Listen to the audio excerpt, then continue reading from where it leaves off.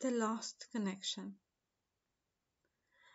The first time I was asked what is poetry, I think I mumbled something that had beyond in it, and a lot of spiritual stuff. Everyone else gave informed and clever definitions, and I felt a bit naive.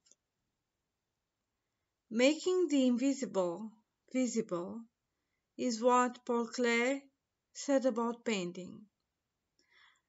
Then poetry must be the reworking of the first words on the first day of creation, actualized every time in a different light, turning all the unwords into blossoming tunes.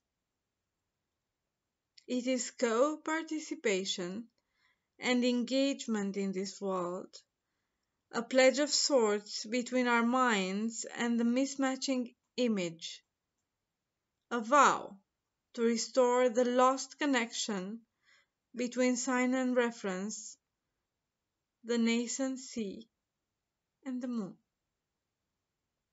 Or else, maybe the syllable rhyme from the beginnings will always elude us, like an afterthought that we get from the startle of birds as they whisk away droplets of rain while chanting their awakening song. We're half awake in a fake empire, said a national song. They also said poets are liars. But I beg to differ. As we half consciously graze the kernel of mouths, the sleeping sounds awakes us as though in a thunder of thought.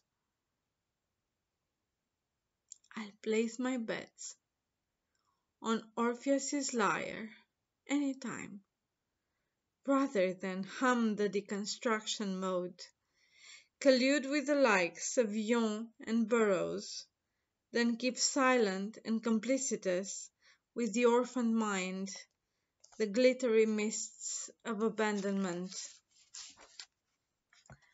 It is a singing in tune, like in the beginning of times, when angelic choirs received and returned the grace and the might.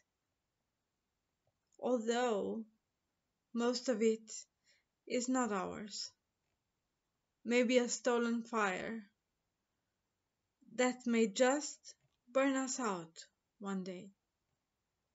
But oh, what a blaze!